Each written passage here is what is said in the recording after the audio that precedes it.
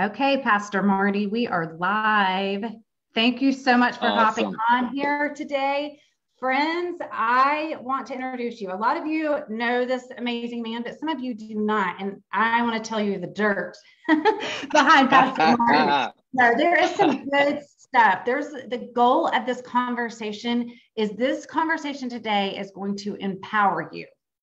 This conversation is going to inspire you to live completely fully healthy. And so there is so much that you're going to gain just from our brief conversation here. But first off, everyone, this is my friend, brother in Christ um, from my home away from home at Christ Fellowship Church in Dawsonville, Georgia, home of the North Georgia Revival. Um, Marty also, I shameless plug here, Pastor Marty. He Come did on. the cover design of my latest book. Bible. Oh, uh, speaking in tongues. He did this yeah. cover design, and um, so anyway. But what many of you might not know about Marty is he is a health coach. Uh, Pastor Marty is a health coach. I am a Christian life coach. And so I messaged him a few weeks ago and I said, let's get on Facebook Live and let's talk coach to coach. And really, your testimony is so inspiring that I think people see you now, they really don't know where you have come from. Five years ago, five years ago, Marty lost 50 pounds in like two and a half months. Yep, two and a half months. So this was five years ago. So I would like for you to kind of tell us a little bit of your backstory of what your life was like and what led you into becoming a health coach. Yeah, well, first of all, Miss Linda, thank you for allowing me to come on here. You're like notorious around the globe. That's right. all your lives and everything you do. your devotion with Pastor Todd on speaking in tongues. Uh, I did the cover. So, man, just from doing youth ministry for 18 years, you have to learn to wear many hats, become your own graphic designer, become your own spokesperson, become your own website designer, become whatever. You just start to wear many hats, and so it was an honor to design that that graphic for you guys. But uh, but yeah, I did youth ministry for 18 years, and um, I was always pretty healthy. Um, I considered myself pretty healthy. I was three sports in high school, um, graduated, you know, at 130 pounds soaking wet, and um, but ended up getting married, having a couple of kids. My wife, after she gave birth to our two daughters, she got rid of her her weight, and I kept putting mine on. And so, all the pizza parties and the hamburger eating contest and the ice cream socials and all the different things that come with youth ministry and church in general, it just took a toll on my body. And I never looked in the mirror and thought, "Man, you you're large." Um, I guess it just came so slowly. I just got numb to it and used to it. But then one day, Linda, I'll never forget it. It was in 2016. We were getting ready to take our youth group, um, about 100 something kids and youth leaders, to a, a fall retreat. And I bent over to tie my shoe that morning, and I felt like somebody had me in a chokehold just to tie my shoe. I couldn't breathe. Wow. Um, I, I didn't feel like my heart was fluttering, but it was like, whoo, you know, there's something that just kind of shocked me right there. It kind of took my breath away, um, honestly. And and I looked up in the mirror, and my head was just blood red, uh, and I was like gasping for air just to tie my shoe. So that was a major, major wake up call for me.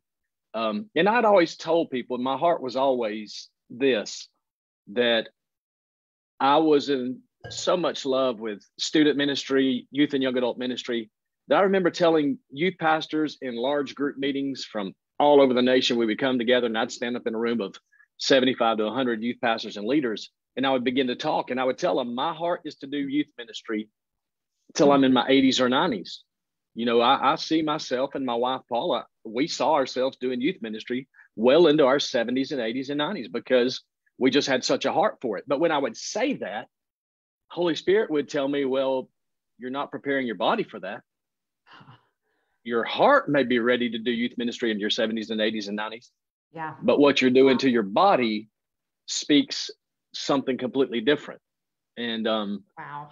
So uh, I was in that moment that morning when I just had this epiphany of, oh my gosh, my dad had triple bypass when he was like 59, 60 years old.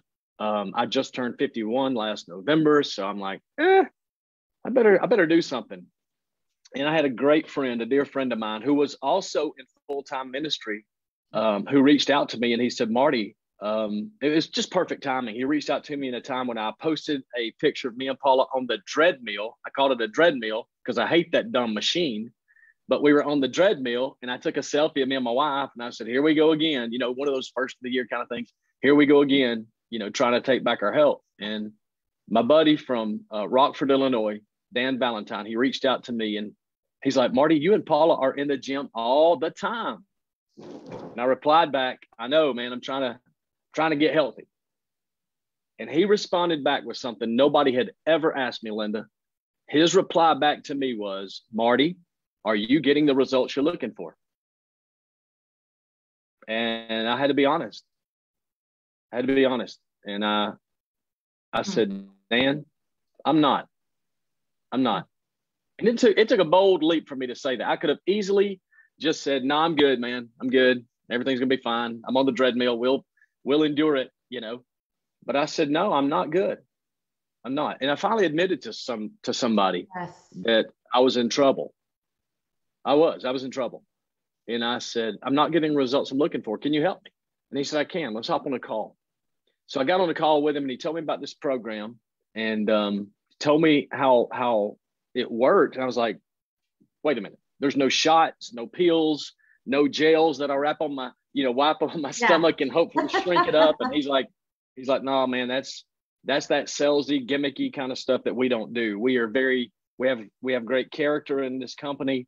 Um, we're not salesy, gimmicky. We actually care about people. And uh, there's no pills, there's no shots. Matter of fact, Marty, there's no exercise required. And when he said that, my ears and my heart perked up. I'm like, tell me, because I'd been the gym.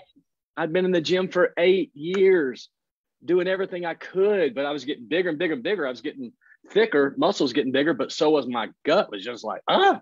Yeah. And so finally, um, I, I jumped on the program. I found out it was super simple. In my first week, I was down like nine pounds. Um, results aren't typical, but they are predictable. So uh, mm. I was like, man, we found something. And so we knew right away that we were going to be health coaches. Uh, matter of fact, I signed up to become a client and a coach the same day.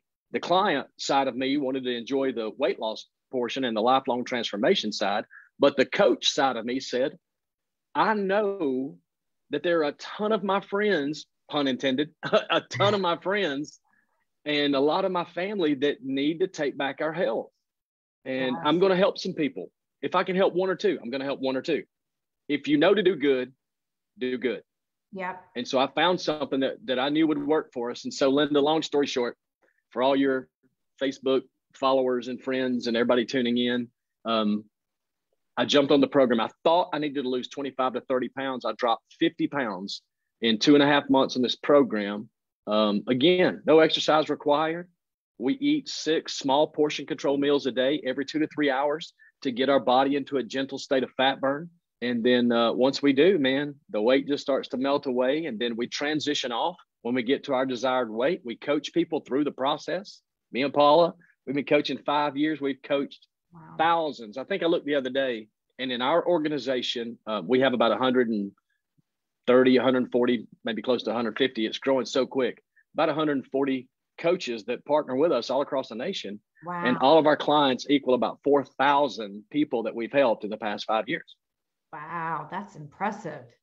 And so here's the elephant in the room for us because both of us are in ministry. Uh, both of us are committed to the Lord Jesus and the gospel. And so here's the elephant in the room, and that is the church does a great job about talking about the top three, you know, sex, drugs, rock and roll, you know, keep that sin out of your life. But what we don't talk about, what you rarely hear about, matter of fact, when's the last time you heard a pastor stand up in the pulpit and preach on health. It's rare because ministry revolves around food, ice cream socials, dads and donuts, moms and muffins, you know, boys and bagels. It's just what we do. It's it's food. We always fellowship around food. Where the spirit of the Lord is, there is food, right? There is. I think somebody said that. But um, but but watch this. I did some research, Linda, and I found out it's very staggering. But 73%, according to CDC and all the research, mm-hmm. 73% of Americans, not around the world, Americans, 73.6 of us are considered overweight or obese. Almost 74%. And that's just people 20 and above. You know as well as I do, there's teenagers that are obese yes. and overweight. There's young people. And so that's just 74%, 73.6 to be accurate, from the CDC. Center of Disease Control have said almost 74% of Americans are yeah. overweight or obese. But watch this hmm. a professor in Purdue did a study and he found out that the church, no, the church's number of overweight and obese just in the church far outweighs the general population. The church is more obese and overweight than any other demographic. That's a Purdue professor that did this research, and um, that that that's alarming to me. And matter of fact, he said there's a certain uh, two denom- denominations. There are two denominations that lead in the nation. They lead in overweight and obesity statistics, and so that that should be a wake up call for us. We we talk about wanting to go into all the world, but our bodies are not equipped to do that. That's right. We can't handle the hiking and the walking. I mean, Jesus, man, they walked everywhere they went, traveled by foot. We want to live like him, but we don't want to have the the healthy diet and the tr- nutrition discipline that they had. Well, I'm like so, I'm like this person that's the radical worshiper. So anybody out there that doesn't know me, if you go into a church service, I'll be the one like running laps and doing cartwheels because I'm just like that. I'm just like, but, but I realized like even this past Sunday at my church, like I was like, as I was worshiping just so hard, and I was like, I have to stay in shape because in order to worship, and yeah. um, I mean, it just, but it's everything. Like it is everything that we take care of our temple, like yeah. that. Um, what? Let me ask you this.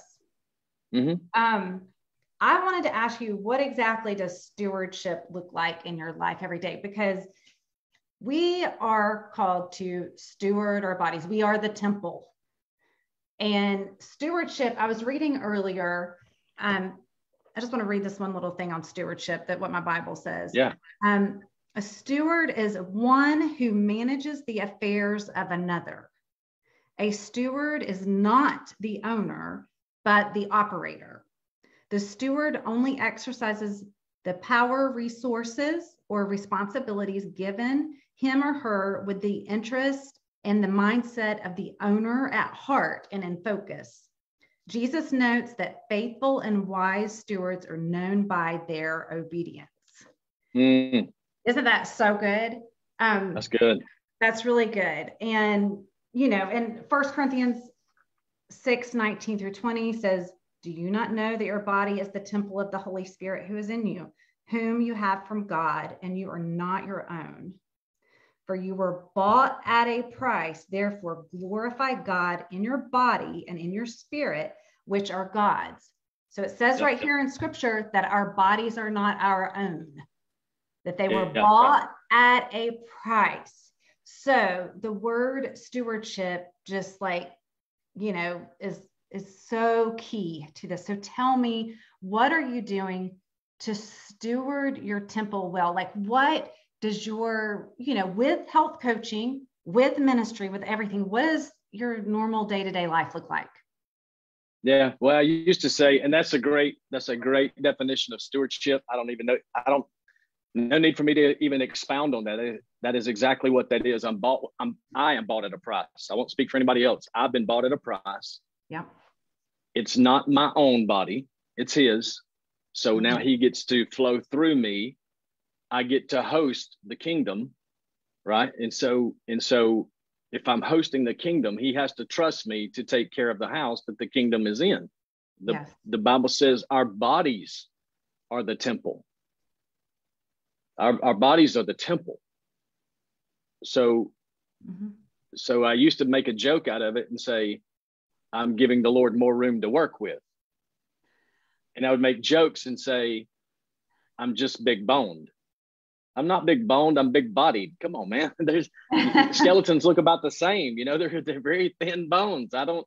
I've never seen big bone skeletons. I see the skeletons that look almost identical, the same size. It's what we put on the exterior. And so stewardship to me, um, every day, it's it's it starts off as daily disciplines, but daily disciplines soon become daily habits.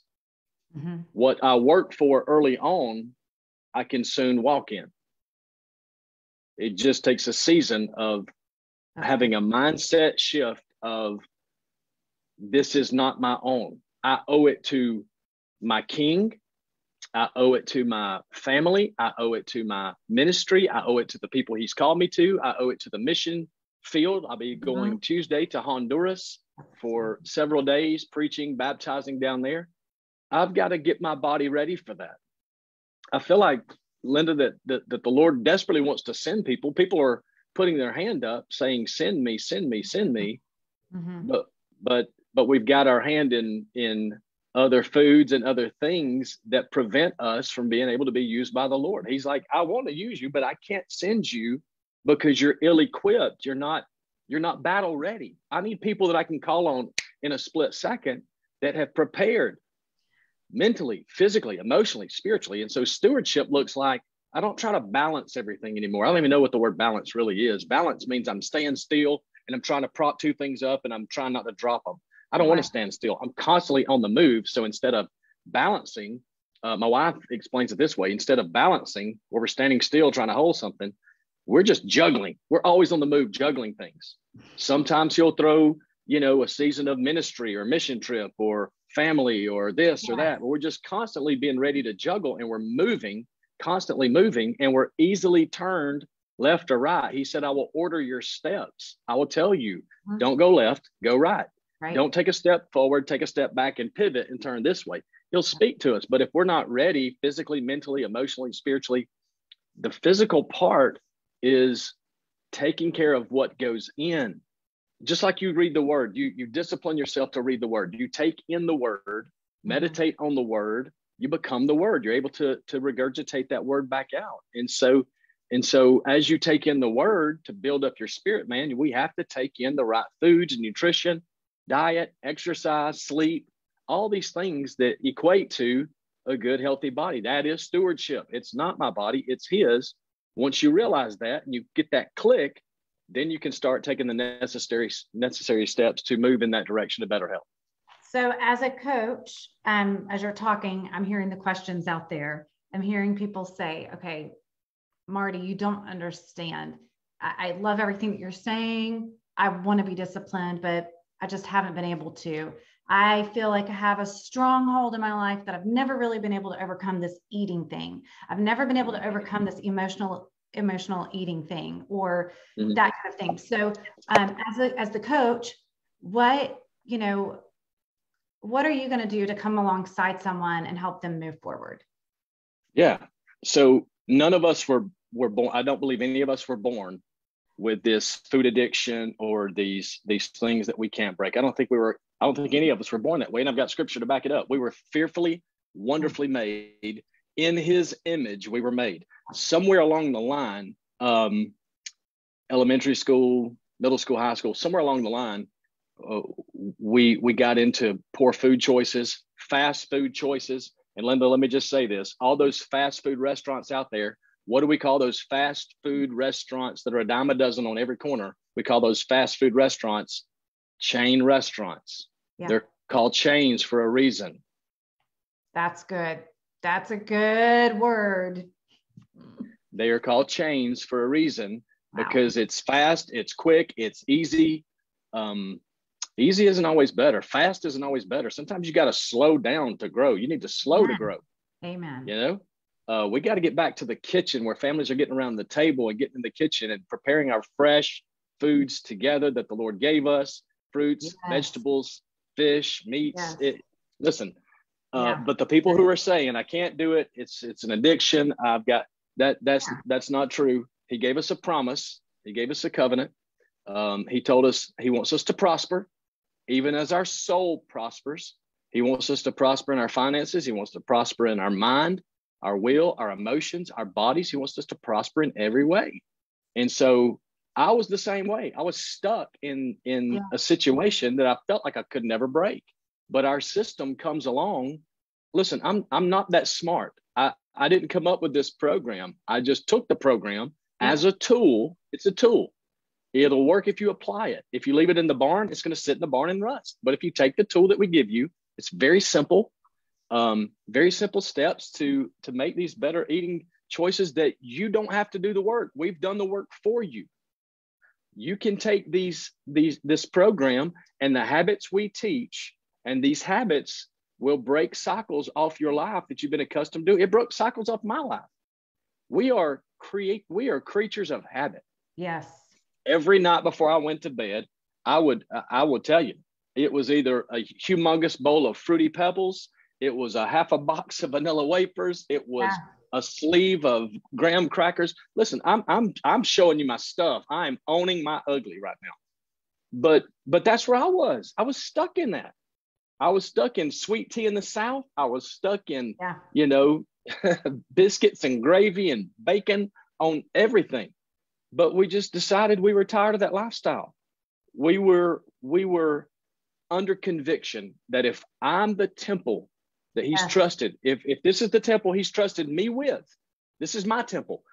Uh, uh, the thumbprint, nobody else on planet Earth has this thumbprint. Nobody before or during or after I'm gone, nobody will ever have this thumbprint. It's my, it's the temple he gave me. And how dare me use excuses and blame, well, the enemy's got me and the enemy's got me in this, in this, in this bondage and the enemy, the enemy, enemy. Wait a minute. Jesus said, All authority has been given to me. If the if the if all authority has been given to Jesus, how much does the enemy have?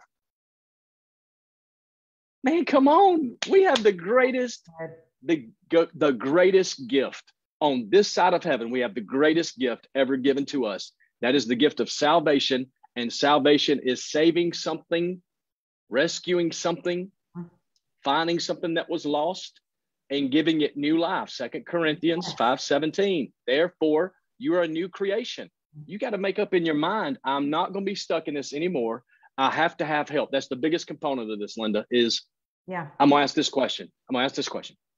If you're out there listening, going, man, I would love some help. I just don't know if I can do this and that. And it's probably not for me, uh, probably wouldn't work for me. I've never seen this program not work. Not one time. I've seen people not work. I've seen people want to go back to certain certain things. I can't I can't help that. I can't. You're your own person. But I have people say, "Well, I can't I can't do this. It's not for me. I can't afford it. I ain't got the time to do it." You got you don't have time to eat. You don't have time to drink. we provide you. We provide you with five of the six meals, the shakes, the smoothies, the bars. We got all the stuff. What do you mean you have time? What do you mean? What do you mean you can't afford it? You're already spending money on food and yes. drink now. You just take what you're spending now and roll it over into this program to take back your life. You're not just taking back your health, you're taking back your life. So so when people say, you know, I just I, I just don't know if it's for me, I can't afford it, it's, it's just it's not gonna work. Well, you won't know until you step out of the boat, Peter. That's so good. You won't know you can walk on that water until you step out. So I mean, and I have to say, guys, out of anybody you can trust Pastor Marty. if anybody you can trust this man. Like there is no way this man can lie to you. I'm sorry, I'm not trying to put you on a pedestal. I'm not trying to put you on a pedestal, Marty, but no, no. The, the man, yeah, he, he's not gonna, he can't lie to you. That's all. Well, here's the beautiful thing. Here's the beautiful thing, Miss Linda, is 2017. If you remember, you know about the North Georgia Revival. You've been here many times. You're a friend and family of the house here um, in Dawsonville, Georgia. But in 2017 is when I jumped on this program thinking I need to take back my health. I'm a youth pastor. I need to take back my health. I had no idea the Lord was preparing me for one year later. He knows all things. He knows all things. He knew that he would send revival to North Georgia, where we would be in the water from eight o'clock on Sunday nights till Monday morning at 6:30 sometimes. Who can do that? Who has that endurance? Who has that stamina? And so the Lord was preparing our temple, our body, to be able to handle what he was going to do and the requirement he was going to place on our lives for prayer. This is, listen, this is just not about health and taking back your body. This is about getting your mind right, getting your yes. heart right, getting your getting everything right. And so I'll say this, and I'll be quiet. But stewardship, you, men, you mentioned stewardship. We know what good stewardship is. It's taking what you have, studying the scriptures, reading the scriptures, studying to know Him, study to show yourself approved, quiet time, worship. We know all the elements coming together to assemble yourself as you know. We right. we get it. We we understand good stewardship. Poor stewardship is overweight, obese, don't have time to read my Bible. Only time I get into the presence of God is Sunday morning church service, maybe two times a year at Easter and Christmas. That is poor stewardship. That is poor stewardship. No way around it. There's no there's no finger pointing because when I point my finger at you, I've got three pointing back. That was me for a long time. Yeah. That was me for a long time, just kind of like going through the motions and getting caught up in the cycle. Break that Jesus came to break those chains. Come on when you're eating right though and you you're really taking care of your body it's amazing how much more clarity you have in your mind and just anxiety and depression and all that like mental health stuff. I mean it just it really takes away all of that kind of stuff. So I mean, there's so many reasons yeah. why you know practically speaking why we would want to be healthy.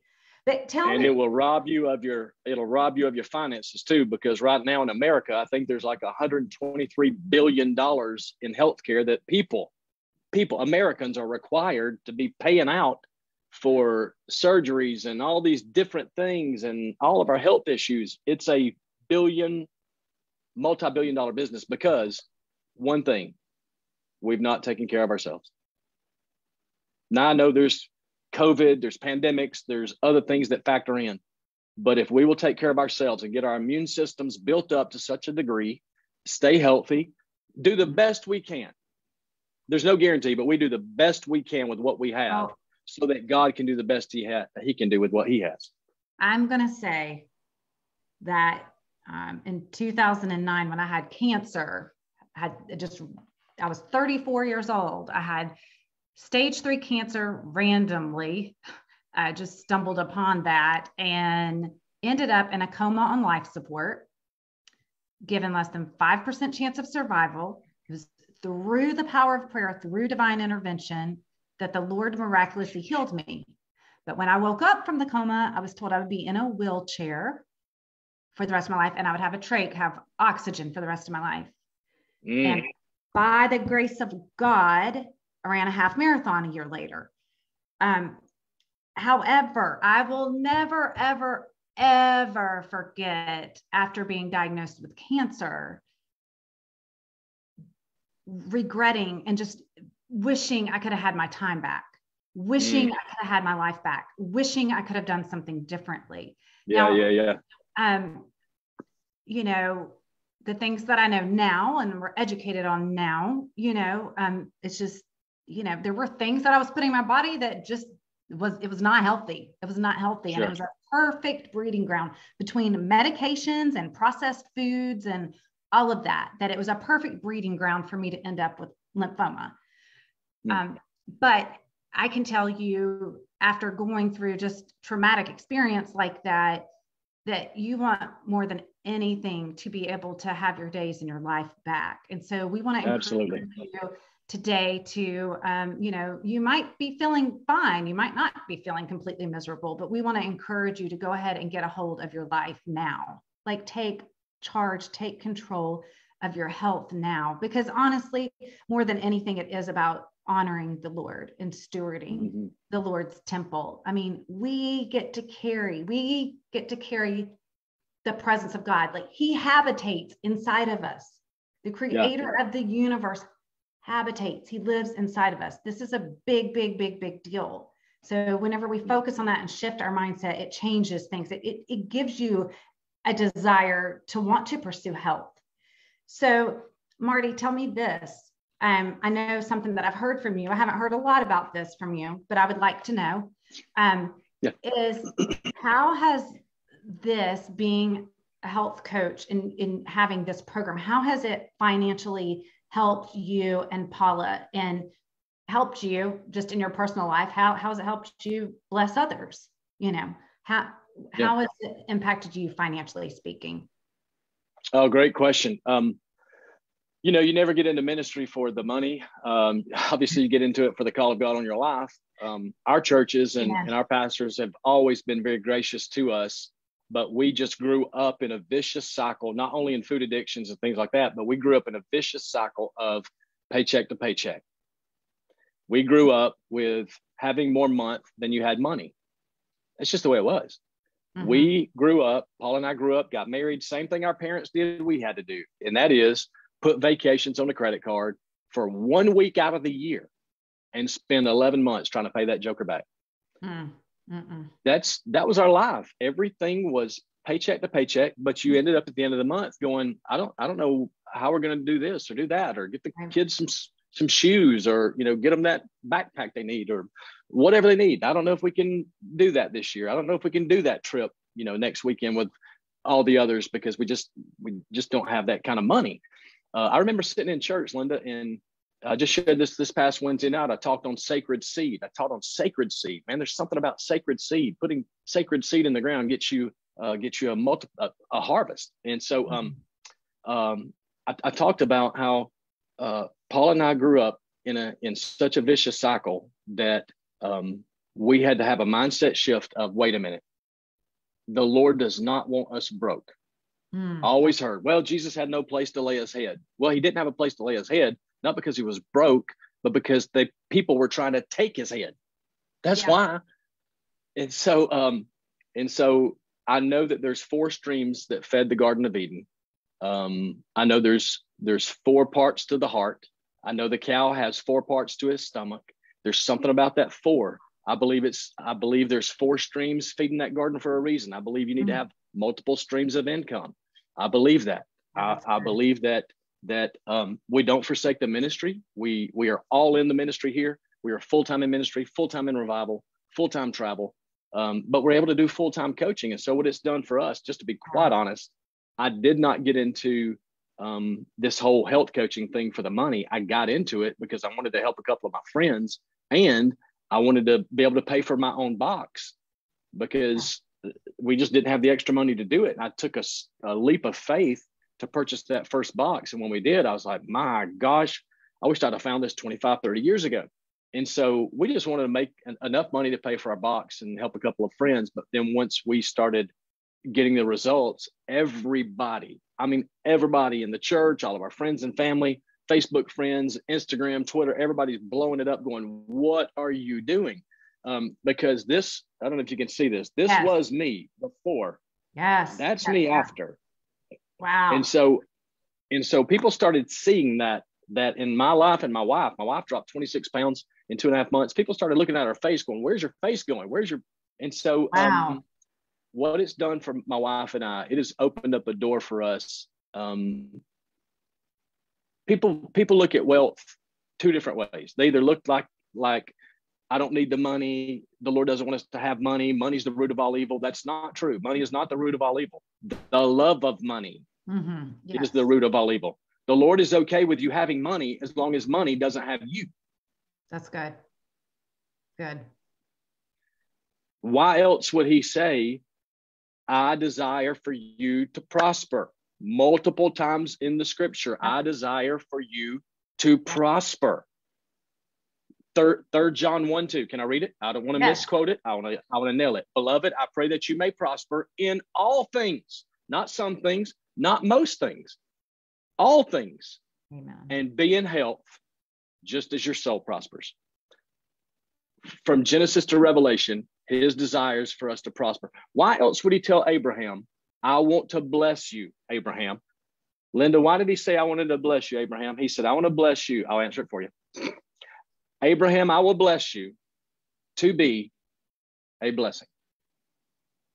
We was we would sit in church. This is what I was going to share a few minutes ago. Me and Paula would sit in church. I just shared this Wednesday night. We would sit in churches 25 years ago, 15 years ago, 10 years ago.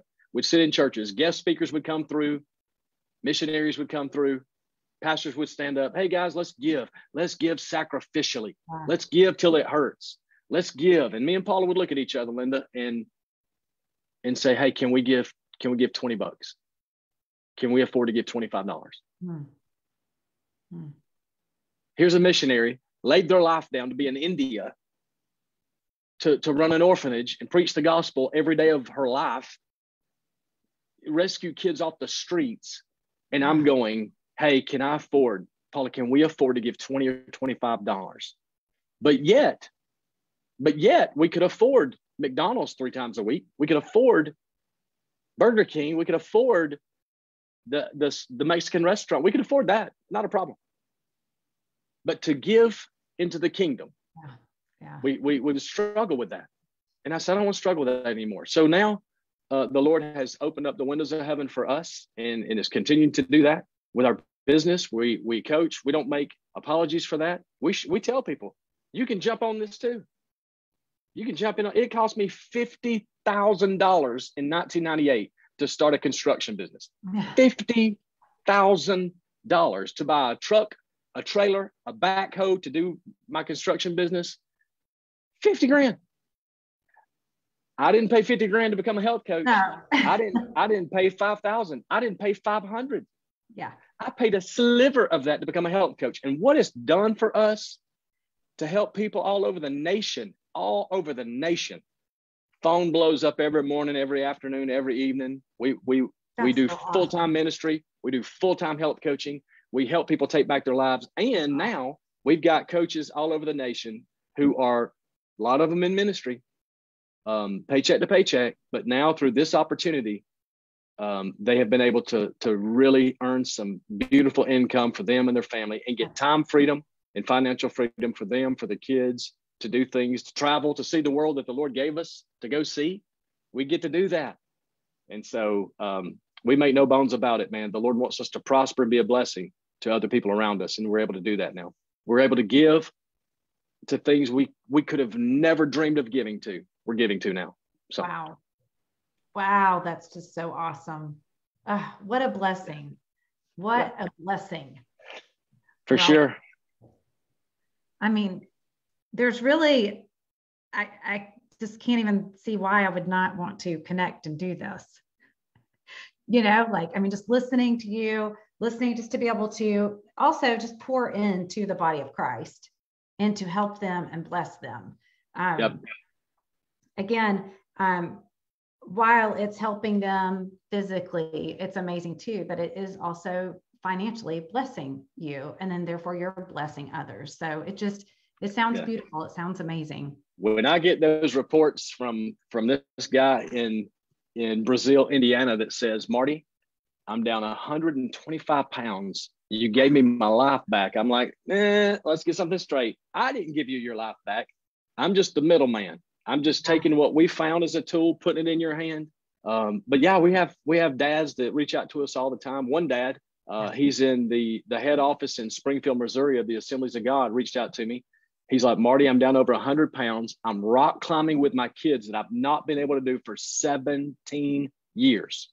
Wow. And he said, Thank you. Thank you for showing me and giving me this program. It's it's changed my life. We have women that reach out and go, Marty, I have no back pain, no knee pain. The swelling's gone in my ankles. Um, I'm sleeping better. I used to be on this and that and whatever, and I'm not on those things anymore. Oh my gosh, I, I've got my life back. And so it's it's just a common thing for us. This is what we do. We're backed by 20,000 medical doctors. The man who co-founded this program was one of the top 10 first board certified heart surgeons in America. He was the big deal already, but he took out of the, he had this epiphany. He's like, wait a minute, I'm earning incredible money, heart transplants, triple bypass, doing all those things every right. day of his life. But he's like, wait, I need to get on the front end of this thing. I need to get on the preventative end of this thing.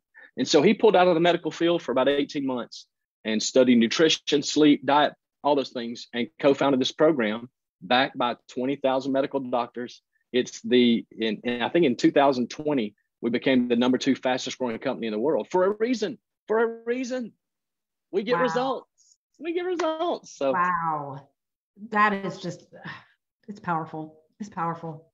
I'm so excited. Tell me, tell everyone here how they can connect with you. If this is something yep. that they would just like to just learn more about. I mean, what what are the steps? Like, what do they need to do? Man, first thing, write this number down. 678 617 0308.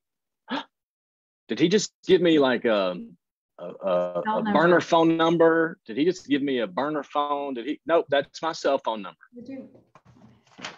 Why would he give his cell phone number out to all these people?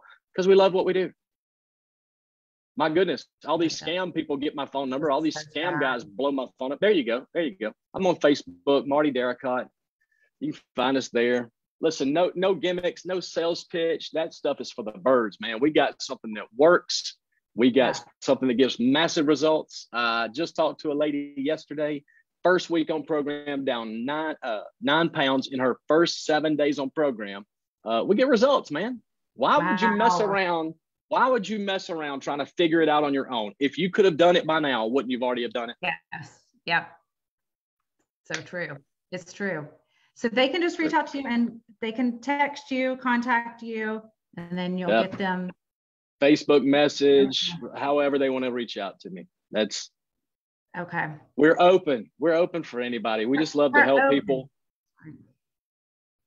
Yeah. That is fabulous. That is fabulous. I hope that this, I hope that people that have um, gone to the revival and experienced the revival, I hope that they get to see this and, and watch this because I think they have, you know, a lot of people have no clue, you know, that, that there's other, you have other hats that you're wearing besides standing in the water for hours on end. Yeah. And uh, yeah, what I love about this this thing is, you know, Pastor, you've been here. Pastor Todd will stand up on Sunday nights and let the, let the people know um, if they want to partner with the North Georgia Revival. It takes about three thousand dollars or so for all the bills and the things it takes to water and chemicals for the pools. Both pools, we have two pools. Um, all the necessities of the scrubs, the towels, the um, all the everything we would use for the crowds, the masses that come every Sunday night to our revival, it costs about three three thousand dollars. And so my wife and I were able to sponsor one night of the North Georgia revival. So this is why we believe in what we have. We believe yes. in what we're a part of. We don't just talk about it. We sow back into it, man. I and it won't it. be the first time. There'll be multiple times we get to do this. Why? Because we love it. It's kingdom. Yes. This this is the kingdom. The kingdom is here. Yes, time is. to take back our minds time to take back our will, our emotions, our bodies, physically, spiritually, mentally, emotionally. Amen. Let's do this thing. Now's the time. Let's go. Amen. Amen. Amen. Amen. Oh, I love it. I love it. Thank you so much for uh, doing uh, this. It's I, an honor. I, I believe that so many people are going to be blessed from this. I can't wait to hear all the connections that have been made from this. But I mean, I appreciate you so much. It's just I love you guys. I love everybody in Georgia. I'll be there in a few weeks. So uh can't wait to see you again. Tell Todd hey, I said hello. I will tell my Todd, my Todd. Yeah. Um, hey, everybody, why not? Speaking in tongues. This um, I have I teach a class, a free class uh, with this. So you can go to my website, which is lindakuhar.com and sign up for that if anybody if anybody's curious and watching this and you're interested in that. Um, so that's powerful. I love it. Thank I love you, it. Thank Linda. you. Thank you so much. Bless you. Bless you, my friend. We'll see you soon. Okay. Bye bye.